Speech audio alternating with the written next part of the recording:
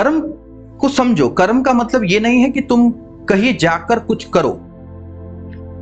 कर्म का सिर्फ़ ये मतलब नहीं है कि अगर किसी तरह का काम करना, अगर मैंने इस चीज़ को ऐसे उठाया तो ये भी कर्म ही अगर मैं बैठा हूँ और कुछ ना कर रहा हूँ, कोई मूवमेंट के बगैर भी, लेकिन मेरी साँसें चल रही है तो ये भी कर्म ही हुआ। याद करना, जब कोई तुम विचारों में होते हो तो तुम जीने भी लग जाते हो इमेजिन भी करने लग जाते है। तो वो भी सूक्ष्म रूप से कर्म ही हुए ना। चाहे सपने में है। लेकिन फिर आध्यात्मिक लोग तो ये भी कहते हैं कि ये जो तुम जी रहे, ये भी सपना है। तो फिर तुम सपने में जो कर रहे हो, वो कर्म क्यों नहीं?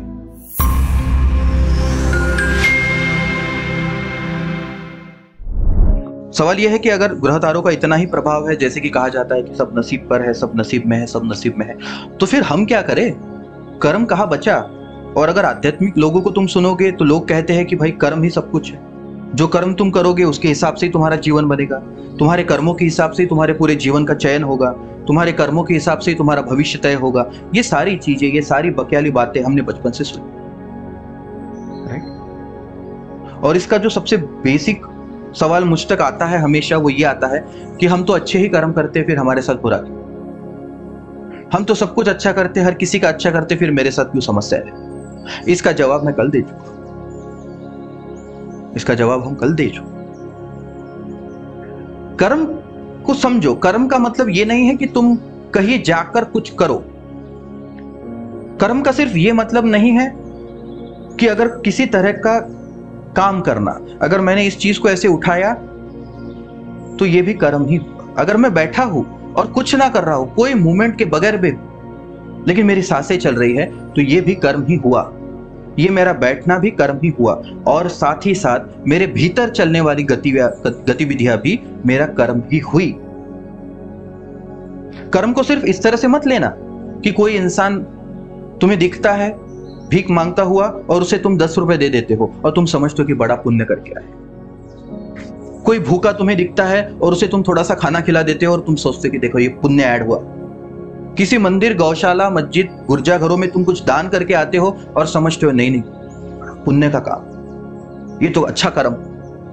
चार लोगों को तुम समझा देते हो, वो खुश खुश हो जाते हो और तुम समझते नहीं ये तो कर्म अच्छा सवाल यह है कि कर्म की सबसे बड़ी जो गतिविधियाँ है, जो तुम्हारे भीतर शुरू है, उसका क्या? सवाल यह है कि तुम अगर कुछ ना भी करो और एक जगह पर बैठे भी हो तो भी तो कर्म हो रहे सवाल यह है कि तुम्हारे भीतर चलने वाले विचार जिस तरह के, एक तरह के कर्म ही निर्मित कर रहे हैं, उसका क्या? याद करना, जब कोई तुम विचारों में होते हो तो तुम जीने भी लग जाते हो इमेजिन भी करने लग जाते तो वो भी सूक्ष्म रूप से कर्म ही हुए ना, चाहे सपने में है, लेकिन फिर आध्यात्मिक लोग तो ये भी कहते हैं कि ये जो तुम जी रहे ये भी सपना है। तो फिर तुम सपने में जो कर रहे हो, वो कर्म क्यों नहीं? अगर ये जीवन जो चल रहा है, ये जो शरीर जो चल रहा है दुनिया के हर जागरूक इंसान तुमसे चीख चीख कर चिल्लाता है कि ये सब मिथ्या है। ये है ही नहीं, जो तुम समझे बैठे हो, वो है ही नहीं। सच्चाई कुछ और ही है। और अगर सच्चाई कुछ और है तो अब मैं जो कर रहा हूँ, अगर वो सपने में है, अगर ये कर्म मुझ पर काम कर रहे हैं तो मेरे सोचे हुए चीज़ों के द्वारा, मेरी इमेजिनेशन में जो मैं कर्म कर रहा हूँ, वो भी तो कर्म ही हुए। तो क्या उसका इफ़ेक्ट मेरे बॉडी पे नहीं होगा? होगा। बिल्कुल होगा। और यही पे पूरा का पूरा तुम्हारा जीवन बदल ग्रह तारे 100 परसेंट तुम्हारे जीवन पे काम नहीं करते। जैसे मैंने परसों के दिन एक्सप्लेन किया कि ये 50 50 परसेंट ही लेना। ये 50 50 परसेंट इस तरह से है कि तुम्हारे घर पर आने वाला सप्लाई और उसका किया गया यूजेस तुम्हारे जीवन में ऐसा नहीं है कि तुम जो सोच रहे हो, अगर मैंने ये हाथ हिला दिया, इस चीज़ को यहाँ से यहाँ पे रख दिया, इसका मतलब ये नहीं है कि ये किसी ग्रह तारे ने तय किया था कि मैं यहाँ बैठकर इस तरह से बोलूँगा। और ये इसका ये मतलब नहीं है कि कोई ग्रह तारा तय करेगा कि मैं आलू की सब्ज़ी खाऊँगा या फूलगोभी की सब्ज़ी खाऊँगा। ये कोई ग्रह तारों को काम धंधे है कि नहीं? इसको इतना नीचे मत गिरा देना। कुछ लोग होते हैं जो उठने के साथ अपना भविष्य पढ़ते हैं सुबह और देखते कि आज का आज का दिन मेरे लिए कैसा। है बाबा, इतना इतना भी वो नीचे नहीं गिरेगा। फिर तुम कहोगे हर घंटा, हर मिनट, हर सेकंड। बाबा उसको काम है, नहीं है। क्या करना इसको कहते हैं अतिशयोक्ति। इसे कहते हैं पागलपन। इसे कहते हैं उन लोगों के द्वारा इस तरह की अफवाहें फैलाई गई, जो इस चीज़ को जानते हैं और चाहते हैं कि तुम बार बार उनके पास आओ, ताकि बार बार कोई नई समस्या निकले और बड़ी बड़ी चीज़ों के साथ वो तुम्हें परेशान कर सके। किसी भी ग्रह तारे का जो प्रभाव है, वो एक एक समय के लिए है। हाँ उसमें दशाएँ है। मतलब एक बड़ा ग्रह, उसके नीचे महादशा दशा उपदशा इस तरह की चीज़ें आती है लेकिन वो डेफिनेटली घंटे और मिनट के हिसाब से नहीं आती।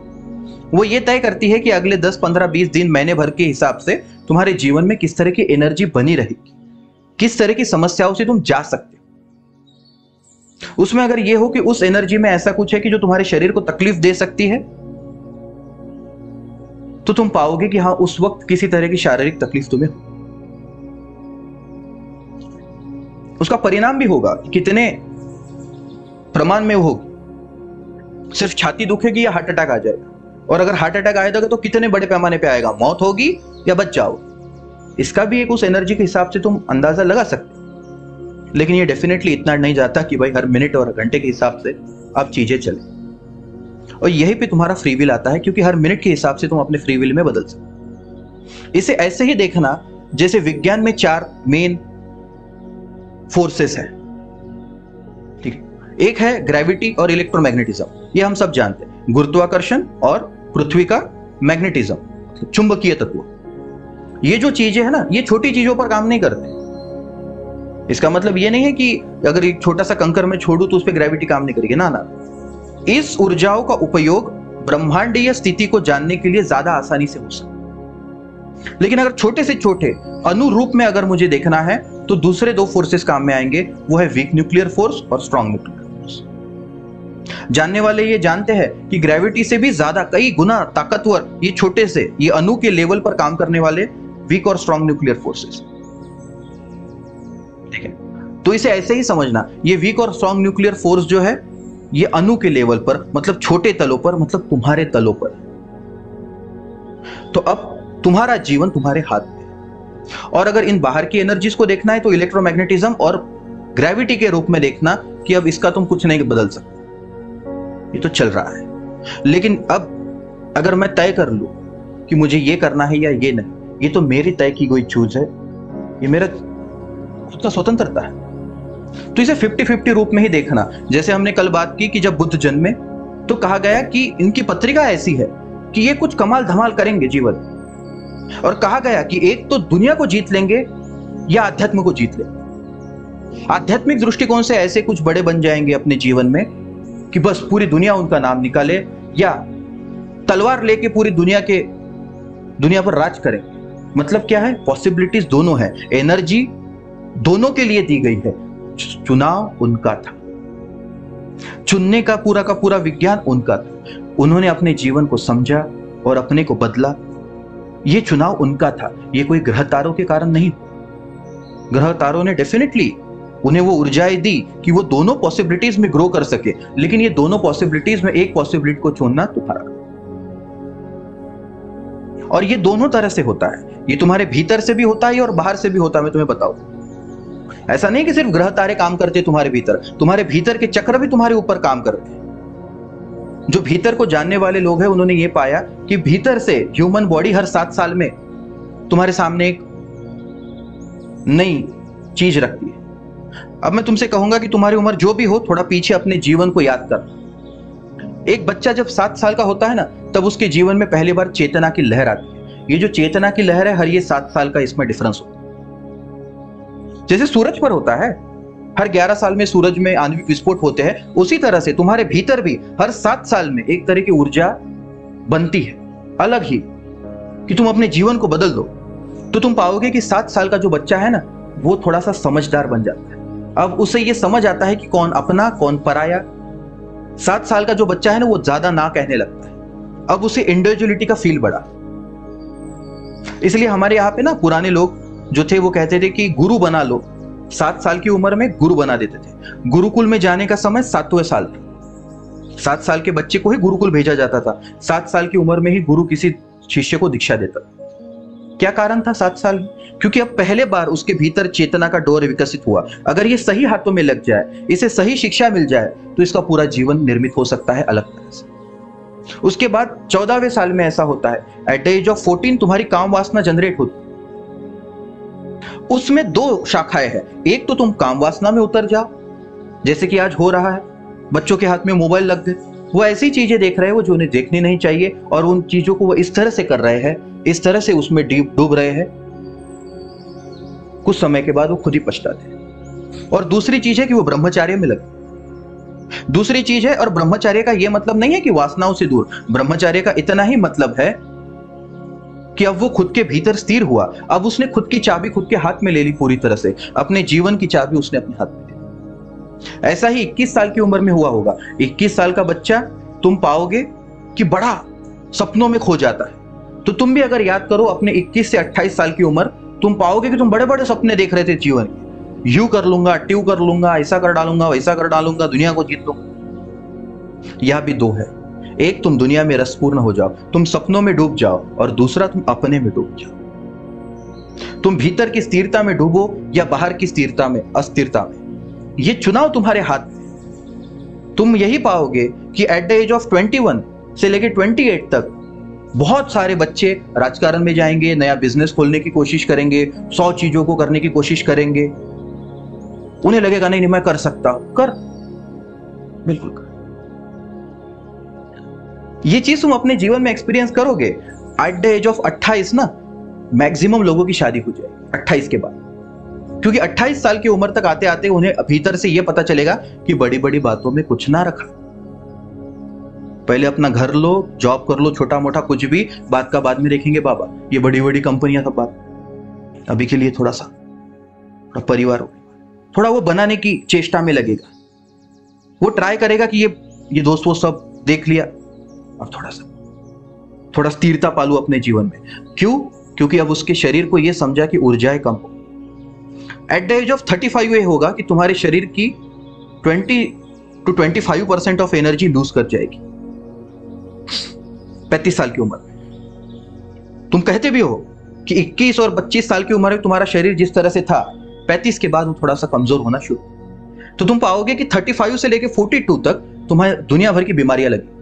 तुम्हें बीपी शुगर या इस तरह की तकलीफ़ या स्पेशली साइकोलॉजिकल क्यों? क्योंकि 35 साल आते आते जब तुम्हारी ऊर्जा कम होने लगेगी और तुम्हें यह पता चलेगा कि मैंने जीवन में कुछ नहीं कमाया तो तुम पाओगे कि ऐसे बहुत से लोग हैं कि वो आफ्टर 35 सोशली एक्टिव हो जाते 28 से 35 तक तो वो अपने घर में रहेगा। वो अपना घर लेगा, पत्नी, बच्चों के साथ समय बिताएगा, थोड़ा पैसा वैसा जमा करने की कोशिश करेगा।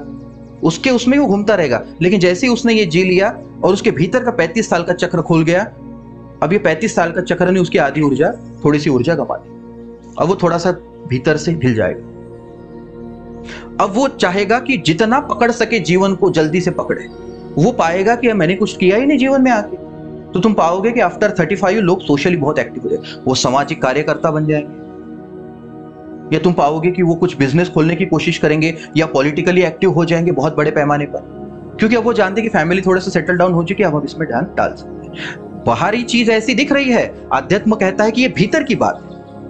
ये जो भीतर चक्रों में बदलाहट हुआ, ये भीतर ने जो चक्र को फेंका, ऊर्जाओं को, उसके कारण ये तुम्हारी प्रतिक्रिया है और कुछ by the age of 42 to 49 तुम पाओगे कि तुम बड़े तकलीफ़ में क्यों? क्योंकि ये जीवन भर ये 35 से 42 की उम्र में तुमने चाहा कि दुनिया तुम्हारी सुने और कोई सुन नहीं रहा और तुम भी खुद की सुन नहीं रहे? तो ये 42 से 49 का उम्र जो है ना ये इंसान के लिए बड़ी तकलीफ़ देने वाली है वो साइकोलॉजिकल इरर में चले जाएगा। वो समझ ही नहीं पाएगा उसके साथ हो क्या रहा है। वो कहेगा मैं अब, अब क्या हो रहा समझ नहीं आ रहा क्यों जी रहा समझ नहीं आ रहा? उठता हूँ काम पे जाता हूँ वापस आता हूँ क्या कौन अपना कौन कौन पर आया? ऐसी स्थिति में हो द्विधा मन स्थिति में अटक गया। और 40 49 के पास ऐसा होगा कि तुम्हारी आधी ऊर्जा तुम्हारे शरीर को छोड़ देगी। Half energy. और तुम पाओगे कि आफ्टर 50 ना आफ्टर 49 स्पेशली लोग एकाएक कहने लगेंगे कि नहीं नहीं, मेरा भाई मेरा ही तुम एकाएक परिवार के लोगों के कांटेक्ट में बढ़ जाओगे। याद रखना 21 से 28 साल का बच्चा टेंशन नहीं लेता। बोलता हाँ नहीं बात करूँगा, ज़िंदगी भर के लिए मुझे हट मेरे को ज़रूरत नहीं किसी की। 28 से 35 में वो पाएगा कि थोड़ा सा चाहिए। 35 से 42 में भी थोड़ा थोड़ा वो पाएगा कि सोशली एक्टिव होना चाहिए। तो हो सकता है कि वो सामाजिक रूप से एक्टिव हो जाए, जिस समाज का वो है, या पॉलिटिकल रूप से वो एक्टिव हो जाए, या दोस्तों में ज़्यादा जाने लगे, या उसे उस वक्त नशा वशा लग जाए ज़्यादा पैमाने। लेकिन आफ्टर 50 वो पाएगा कि अपने से कुछ ऐसी चीज़ें हुई कि जिन लोगों के साथ वो जीवन में झगड़ा, जिन लोगों के साथ उसकी समस्याएँ थी एक लंबे समय तक उसने कहा कि, जान दो, जीवन है कितना अब क्या है, बूढ़े हो गए, कुछ गलतियाँ उन्होंने की, कुछ गलतियाँ हमने की, है तो भाई ही, है तो रिश्तेदार ही, है तो है जाने दो फलाना। ये बड़ी बड़ी बातें करके वो पाएगा कि सब एकत्रित रहे। वो ट्राई करेगा कि उसके आसपास जनपद बना रहे। वो चाहेगा कि उसके आसपास लोग इकट्ठा रहे। जब ये चीज़ 47 पे चली सॉरी 56 पे चली जाएगी तब एक और मज़े की बात होगी, अब तुम्हारे रिटायरमेंट की उम्र आ गई तो तुम पाओगे रिटायर्ड आदमी ना अकेला कभी घूमने नहीं जाएगा। वो ग्रुप बना के जाएगा। वो कहेगा, नहीं, सुबह जाना अकेला नहीं जाना। चलो, चार पाँच लोग जाते लेकिन वही 21 से 28 साल का बच्चा जिम जाने के लिए अकेला अकेला निकल पड़ेगा। हाँ वो पूछ सकता है, अरे लगाता है क्या लगा मैं अकेला जा रहा मैक्सिमम टाइम तो ये होगा, उसे ख्याल भी नहीं आएगा कि चार लोगों को इकट्ठा करके जिम करो। वो अपना ही कर लेगा। वो कहीं जाना है तो अपना ही चले जाएगा। लेकिन बूढ़ा आदमी अगर किराना भी लेके जाना है तो कहीं नहीं किराना, चल लो तो। चलता का सांगा तिथपर्यंत जाऊ नहीं सोबत। जरा याद कर। ये हो क्या रहा है? और ये जो चीज़ है ना, ये करीब करीब हर किसी के साथ से अब इन हर सात साल में जीवन तुम्हारे सामने मौके दे रहा है, या तो तुम बाहर के जीवन में लिप्त हो जाए, या भीतर मैं तुमसे कहता हूँ कि पैंतीस साल का जो मौका है ना बहुत इंपॉर्टेंट है। बहुत इंपॉर्टेंट वो इंपॉर्टेंट है इसलिए क्योंकि अब तुम्हारे शरीर की ऊर्जाएँ कम होना शुरू हुई। इसके पहले ऐसा नहीं हुआ। और 35 साल की उम्र तक आते आते तुम्हारा परिवार भी बना, तुम्हारे बच्चे भी पैदा हुए, तुमने घर बार भी ले लिया, थोड़ा पैसा भी जमा कर लिया इनफ है। इतना तुम्हारे पास व्यवस्था है कि सब कुछ बराबर से चल जाएगा धीरे धीरे उसके पीछे पागलपन में अगर तुम और पढ़ोगे तुम पाओगे कि ये आगे के जो साल है ना, ये वैसे ही जाएगा, अभी जैसे मैंने बताया। और दूसरा है कि अब तुम कहो कि बाहर से तो मेरा सब कुछ चल ही रहा है बराबर से। मैं अपना जॉब भी कर रहा हूँ, अपने परिवार का ख्याल भी रख रहा हूँ, अपने जीवन को भी अच्छे से जी रहा हूँ, लेकिन इस जीवन को जीते जीते पैंतीस की उम्र तक आते आते मैं ये समझा कि बाहर करने से कुछ ऐसा नहीं मिल रहा जो मैं चाहता हूँ कि मिले। तो हो सकता है कि भीतर कुछ, थोड़ा भीतर भी काम कर। पैंतीस साल तुमने दे दिया दुनिया को, तुमने जी ली अपनी ज़िंदगी। मैं कहता हूँ कि अब एक घंटा, आधा घंटा थोड़ा भीतर के लिए भी दे देना। संन्यास लेके निकलने की बात नहीं कह रहा हूँ मैं। मैं ये नहीं कह रहा हूँ कि परिवार पे तुलसी पत्र रख देना। बिल्कुल भी नहीं। मैं बस ये कह रहा हूँ कि जो जिम्मेवारी है, तुम निभा रहे हो, सही निभा रहे हो। अब उसको और जो तुम करना चाहते हो, दुनिया से जुदा, वो क्यों करना चाहते हो, एक बार सोच भी लेना। तुम कुछ ऐसा कर गुजर जाना चाहते हो कि लोग तुम्हें कहे, वाह, लोग तुम्हारा स्वर्ण अक्षरों में नाम लिख जाए। और कुछ नहीं, ये सब लोगों की भलाई वलाई ये सब बातें कौन किसकी भलाई कर पाया? सिर्फ़ वो जिसने खुद को जाना। क्योंकि सामाजिक संस्थाओं के नाम पर क्या हो रहा है इस देश में, मैं तुम्हें बताने की ज़रूरत ये निरुपमा रॉय जैसे लोग ऐसे बहुत से हैं कि जो जीवन तो ऐसा लेविश देते हैं कि लाखों के कुत्ते और करोड़ों का घर और बातें ऐसी कहती है कि पुअर इंडिया को जनरेट करने की ज़रूरत है। हमारे देश में क्या बोलते उसको? कुछ बढ़ गया बोलते नाही नाही ते होतं ना आठ दहा वर्षा पहिले हे बीजेपीची सरकार आले आले। नाही ना पॉवर्टी नाही। ते समानतेचा हक्क तुटत आहे बा ते आमिर खानच्या बायकोने बयान दिलं होतं त्याच्यावर. इनटॉलरन्स तो या वैसी बातें करते निरुपमा रॉय जैसे लोग इनटॉलरेंस बढ़ गया वो मेधा पाटकर है, कि बड़ी समाज सेवक बनती है। जरा उसके फंडिंग कहाँ से आ रहे ये सब जानते आए भी सब जानते ये लोग कभी नहीं दिखेंगे तुम्हें। लेकिन जैसे ही कुछ हो रहा हो, ये अपनी पूरी की पूरी फौज लेके पहुँच जाए। ना कुछ गलत हो रहा। तो जब वो नर्मदा बचाओ, चला, तब भी नहीं डूबी। उसके बाद में वो सरदार पटेल का जब स्टैचू खड़ा रहा, तब भी उसने कुछ आंदोलन वांदोलन किए नहीं, मर जाऊँगी, और डूब जाऊँ मरी नहीं। मरी नहीं। लेकिन बातें ये चीज़ें करने के लिए पैसा कहाँ से आ रहा है और फिर हुआ क्यों नहीं कुछ? अब ये लोगों को जिसने उनमें पानी में खड़ा कर दिया, क्या हुआ? ये समाज के दुश्मन। कुछ ही ऐसे लोग हैं जो सच में कुछ ऐसा काम कर रहे हैं कि जिन्हें सैल्यूट करने का दिल करता, जैसे कि जो आमटे हैं, आमटे, बाबा आमटे थे। उन्होंने कुछ सच में अपने जीवन में ऐसा काम कर गए कि जब तुम उस काम को देखोगे, तुम कहोगे कि भाई, आदमी किसी भगवान से कहो। उनके जो लड़के भी हैं, प्रकाश बाबा आमटे। उन्होंने भी अपने जीवन में कुछ ऐसा काम किया कि तुम कहोगे कि यार, क्या काम किया? लेकिन उस के बीच में कुछ ऐसे भी लोग हैं, ये मेधा पाटकर और ये निरुपमा रॉय जैसे, जो लांछन है। इस पूरी की पूरी सामाजिक व्यवस्था के चक्कर में इन्हें क्या चाहिए? इन्हें बस पब्लिसिटी चाहिए। इन्हें कोई लेना देना नहीं है तुमसे। अपना काम बनता भाड़ में जाए, जनता। ये किसी पॉलिटिशियन से कम नहीं। तो ज़्यादा समाज सेवकों के बीच में भी फंसना मत, क्योंकि तुम भी जानते हो और मैं भी जानता अब रही बात ज्योतिष शास्त्र की। तो हम ये कहेंगे कि जिस तरह से बाहरी ग्रह तुम्हारे शरीर पर काम कर रहे हैं, उसी तरह से जो एनर्जी तुम्हें भीतर से जीवित रखे हैं वो भी तुम्हारे शरीर पर उसी तरह से काम करती है। अब जो भी मैंने तुमसे कहा सात सात साल का अगर तुम अपने जीवन में उसे थोड़ा लगा के देखो तुम पाओगे कि ये बंदा बात सही कर रहा हो। कि नहीं? ये चीज़ हर किसी के अपने जीवन के अनुभव की है। इसे किसी वैज्ञानिक पुरावे की ज़रूरत नहीं। और यहीं पे तुम्हें चांसेस मिलते हैं दो को चुनने के लिए। तुमने चार लड़कियाँ देखी शादी के लिए। अब चुनी तो तुमने ही। चुनी तो तुमने ही। अब चुनने के बाद क्या होता है? ये सबको पता है। जब तुम किसी के नाम पे बोम्बाटा ना करो। इसलिए घर वाले भी बड़े होशियार होते हैं। मतलब सब कुछ प्लान है हाँ। सब कुछ प्लान होगी वो जाति जाति में, वो बारह वो एक जाति में भी बारह जाति है, सब जाति है ना? बारह, साढ़े बारह जाति है। उसके के, उसमें ही वो बराबर मतलब भगवान देखो कितना पार्शियल है। अगर भगवान है भी, अगर सच में स्वर्गों में जोड़िया तय होती है तो भगवान के जितनी पार्शलिटी तो कोई नहीं करता। ये जाति संप्रदाय में भगवान कितना मानता है? कि जाति जाति में, जाति की जाति में ही तुम्हारे लिए शादी का जोड़ा हो सकता भगवान है या क्या? है और भगवान है जो निसर्गों को निर्मित कर रहा है, या बैटरी मोनी की शादी चला है, स्वर्ग में चल क्या रहा है? अप्सराएँ नाच रही है, या मदिरा बट रही है, या स्वर्ग पाप की पुण्याई हो रही है, या ये शादी के जोड़े बन रहे हो क्या रहा है? लेकिन सामाजिक गतिविधियाँ है। ये प्रोटेक्शन शील्ड है भगवान के नाम पे डाला गया। तुम भी जानते हो कि जिस तरह की शादी तुम्हारी चल रही है, जिसने जोड़ी, अगर उसने कहा, क्या? मैंने किया तो तुम मारोगे उसे। मारोगे? कभी ना कभी ऐसा होगा कि उसको पकड़ के एक दोगे कि साल ले, ज़िंदगी भर की दुश्मनी निकाल रहे मेरे साथ। ऐसा काम कर गए तू दुश्मन भी ना करे। ये तो तुम भी जानते हो।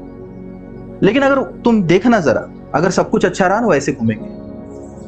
मिच केला मैं नहीं गया। वो इनकी लड़की थी, उनका लड़का था, सोचा बहुत अच्छे लड़के, बता दिया कर। आनंदी जगूर आले बघा आपल्याला काही नाही बा, सगळेजण सुखानं राहो, एवढंच आपल्याला पाहिजे। ये बात कैसी करेंगे कि अपने को कुछ नहीं है। सब अच्छे से जिए, आनंद से जिए, ये अपने को चाहिए। लड़का अच्छा था, लड़की, हम तो माध्यम बने। ये माध्यम डालना पड़ता है। क्योंकि अगर कुछ गड़बड़ हो गई तो लोग इसको ठोकेंगे। तो ये पिटने से बचने की भगवान पे डाल दो और बच जाओ। ये भगवान के नाम की प्रोटेक्शन शील्ड है, और कुछ नहीं। तो जो लड़कियाँ तुम देखने गए थे, भाई चूज़ तो तुमने ही किया। और जो गतिविधियाँ तुम भोग रहे हो तो तुम्हारी। अब क्योंकि तुम समझ नहीं पा रहे हो कि हो क्या रहा है तो तुम भाई, ये मेरा नसीब इससे जुदा कुछ नहीं।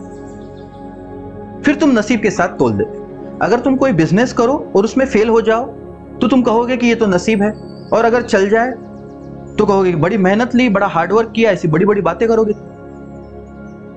तो अपनी असफलता को नसीब मत बना और अपनी सफलता को अपनी मेहनत की चाबी मत बना। इतना ही समझ लो कि चुनाव तुम्हारे हैं। चुनाव तो तुम्हारे ही है। तुम्हें जॉब लगेगा ये तुम्हारे अगर पत्रिका में है। और वो कम, पत्रिका में कंपनी थोड़ी है। वो शनि चंद्र ग्रह ग्रह इंफोसिस कॉग्निजेंट वो नाम थोड़ी डाल के भेजे तुम्हारे इसमें। बात तो सीधी। उसने कुछ पैकेज थोड़ी नीचे डाला कि नहीं नहीं, इस कंपनी में इतना पैकेज ऐसा थोड़ी होता है भाई। उसमें इतना ही होता है कि इस समय के दौरान इस इंसान को आय की व्यवस्था हो जाएगी, इसे नौकरी लगेगी। इस दो, तीन, चार महीने के अब वो आय किस कंपनी में लग रही है, कितनी है, ये तुम जानो। उसमें क्या, ये तुम्हारे टैलेंट पे डिपेंड करता है। ये तुम्हारे फ्री विल है कि तुम कितने टैलेंटेड ये तुम्हारा फ्री विल है कि किस तरह से तुम खुद को रिप्रेजेंट कर सकते अब अगर मैं ऐसे कपड़े पहनू और कर मैं नंगना बैठ जाऊँ, या कर मैं इसी कपड़ों को गंदगी करूँ और खुद पहन लू तो क्या मैं ये कहूँगा कि नसीब के साथ मेरे कपड़े बदल रहे तो बेवकूफ़ी। ये मेरे बाल बड़े, मैं काट के आया। तो क्या तुम ये कहोगे कि नहीं नहीं ये तो आज कुछ ग्रह तारों ने कुछ काम किया होगा कि मैं जाके बाल कटाऊ। अरे, बेवकूफ़ हो गए तुम। बह के बह की बातें कर। तुम्हारे घर में बनने वाली जो अगर सब्ज़ी अगर जल गई और तुम्हारी पत्नी ने कहा, आज मेरे ग्रह तारे ठीक नहीं। इसलिए सब्ज़ी जली। कैसी गाली मारोगे तुम? है कमर के नीचे से शुरू करोगे मैं खरा सांग मायशी बोलो तो यही बोलोगे तुम तब तुम्हें कर्म याद नहीं आएगी, तब तुम्हें नसीब याद नहीं आएगा। लेकिन जैसी तुम्हारी चाबी गिरने लगी, तुम कहते नाना नसीब नसीब नसीब। ये नसीब के कारण। तो अपने हिसाब से चीज़ों को यूज़ करना छोड़ दो पहली तो। तुम्हारे निर्णय तुम्हारे अपने हैं। नसीब का उस पर कोई परिणाम नहीं है। हाँ नसीब ये करेगा कि वो कहेगा कि इस चार, छह, पाँच महीने में इस इंसान की शादी होने की योग है। शादी हो सकती है। ये शादी होगी। कौन सी होगी? तुम जानो भाई। वहाँ पे तो भगवान भी रिस्क नहीं लेता। वो बोलता, तुम तुम्हारा देखो भाई। देखो भगवान ने भी नहीं कहा कि मेरी जिम्मेवारी, बोलो। तुम्हें नौकरी लगेगी, ये बताया जा सकता है। किस कंपनी में लगेंगी, कौन से पैकेज पे लगेंगे बताया जा सकता है। पागल हो। अगर मेरा शरीर ऐसा है, और मैं अगर व्यायाम नहीं कर रहा तो मैं मोटू हूँ, जैसे कि मैं हूँ। अगर मैं व्यायाम नहीं करूँगा तो मैं तो और फैलते जाऊँगा और मैं कहूँगा ग्रह तारो नसीबी तो तुम मुझे गाली मारोगे? बराबर? मारोगे कि नहीं? तुम तो यही बोलोगे कि पागल है। अगर मैं खाता ही जाऊँ और फैलता ही जाऊँ, खाता ही जाऊँ और फैलता ही जाऊँ, और मैं कहूँ कि नहीं नहीं, ये तो ग्रह तारों ने कांड किया मेरे साथ। तुम गाली मारोगे? तुम कहोगे कि अरे आलसी, थोड़ा व्यायाम कर, थोड़ा उठ बैठ। क्या यहाँ से उठ के ऊपर बैठता ऊपर से उठ के नीचे बैठता और क्या होगा? ये बोलोगे तुम? मेरा बेचारा दोस्त अनूप रोज मेरे को आवाज़ देता थोड़ा सा व्यायाम कर ले। चल, थोड़ा उठ। चल, थोड़ा रैम। वो क्या ना वो? लगाए से ट्रेडमिल। ट्रेडमिल पे थोड़ा चल। मैं बिल्कुल चलेंगे? क्यों नहीं चलेंगे? थोड़ा मूड होने दे बिल्कुल अब से मैं उसे ये कहूँगा कि थोड़ा ग्रहों का थोड़ा सा तालमेल बैठने दे तो चलेंगे। तो जो हाथ में मिलेगा उसको फेंक के मेरे को मारेगा वो। ये निर्णय मेरा है। यहाँ पे कोई ग्रह तारा नहीं है बीच में। ये मेरा आलस है कि मैं कर नहीं रहा। राइट अगर मुझे कोई शारीरिक तकलीफ़ है, अगर मुझे शुगर है, और मैं अगर शक्कर खा ही रहा हूँ, खा ही रहा हूँ, और बाद में हॉस्पिटल में मिलूं, और मैं कहूँ कि नहीं, ये मेरा नसीब था कि मैं हॉस्पिटल में आ जाऊँ तो ये बेवकूफ़ी है। और वही अगर मैं शरीर का थोड़ा ख्याल रखूँ, शुगर को कम कर दूँ, मेरी तबीयत अपने से अच्छी रहेगी। ये मेरा कर्म। तो कर्म में और बेवकूफ़ी में बहुत थोड़ा सा अंतर जो चीज़ तुम्हें समझ नहीं आ रही, तुम उसे नसीब पे टाल रहे हो और कुछ पूरी तरह से फ्री विल तुम्हारी है, थोड़ी मोटी नहीं, पूरी तरह से। ये वैसे ही समझना जैसे तुम्हारे घर पे जो इलेक्ट्रिक का सप्लाई है, वो चाहे तुम्हारे हाथ में ना हो, लेकिन सप्लाई कितना भी हो, किस इक्विपमेंट को यूज़ करना है तुम्हारे हाथ पूरी तरह से तुम्हारे राइट समझे? तो बबलू अपने नाकारापंथी का उपाय अपने ज्योतिष या अपने नसीब को मत दे देना। क्योंकि तुमने अपनी पर्सनैलिटी को क्रिएट नहीं किया, क्योंकि तुमने अपने पे काम नहीं किया, इसलिए तुम उन समस्याओं से जा रहे हो जो तुम आज जा रहे हो। कुछ लोग ऐसे होते हैं कि जो पहले ही अपने पर काम करना शुरू कर वो कहते कि नहीं, अगर मुझे कुछ बनना है तो मुझे पढ़ना होगा, मैं चार किताबें पढ़ूँगा सोशली किस तरह से बिहेव किया जाता है वो मैं समझूँगा, किस तरह के कपड़े डालने हैं, किस तरह की बात करनी है। क्या सही, क्या नहीं, क्या ये मैं पढ़ के जाऊँगा? ये तुम्हारा अपना चुनाव। इसे नसीब पर मत टाल। कोई किताब मेरे हाथ में लगी और मैंने उसे पढ़ डाली, और मैं ये कहूँ, ये तो नसीब था कि मैंने किताब पढ़ी। तुम बेवकूफ़ हो। ये तुम्हारी फ्री विल है। मैं किताब को बाजू में रखकर टीवी भी देख सकता, तारक मेहता। ये चुनाव तो मेरे हाथ में है। और मैं ये कह दूँ कि नहीं नहीं, आज नसीब नहीं था इस किताब को पढ़ने। हो गया। तो पत्नी से होने वाले झगड़े को भी नसीब पे डाल देना। ये कह देना कि हाँ आज हमारे ग्रह तारे कुछ अलग है, इसलिए झगड़ा हो रहा तू काळजी नको करू। ऐसा कहते हो क्या? कडा काढा भांडते हो की नाही? भांडता की नाही? भांडता की नाही? कडा कडा भांडता की नाही? तेव्हा येते का नशीब फशीब? तो एक बार ट्राई करना। अगर पति पत्नी के तुम्हारे झगड़े हो रहे तो इतना ही कह देना कि आज के ग्रह तारे ऐसे, इसलिए हम झगड़ रहे निश्चिंत रहा। ऐसा और झगड़ा बढ़ेगा ना भाई। खाने में नमक ज़्यादा हो जाएगा। ठीक है? समझे? तो फ्री विल पूरी तरह से तुम्हारे हाथ में है। हाँ उसका कितना फल मिलेगा? ये नसीब था। क्यों? क्योंकि वो एनर्जी है, जितनी तुम्हारे आसपास चलने वाली, उसी के हिसाब से तुम्हारे कर्म को मेहनत मिलेगी। ऐसा बहुत बार होता है स्पेशल इलेक्शंस में होता है। बहुत से लोग खड़े रहते हर किसी के ग्रह तारे अच्छे भी होते लेकिन कोई एक जीत जाता है। अब इसमें दोनों चीज़, एक तो उसका नसीब था ही। और दूसरी चीज़ ये है कि उसने जो प्लानिंग मैं तुमसे कहूँ कि अगर किसी बच्चे का पूरा का पूरा चांसेस है वो यूपीएससी क्रैक कर ले, और उसने कहा, भाई, अपने नसीब में लिखा यूपीएससी क्रैक करना आप क्या पढ़ना है? ये ज़िंदगी में नहीं हो पाएगा। और कोई मेहनत ले रहा है, खुद को इंप्रूव कर रहा है, कर रहा है, और उसके योग भी है, वो बन जाए। दोनों ही चीज़ें इंपॉर्टेंट है। कर्म भी इंपॉर्टेंट है, नसीब भी। दोनों फिफ्टी फिफ्टी के रूप में देखना पूरी तरह से नहीं।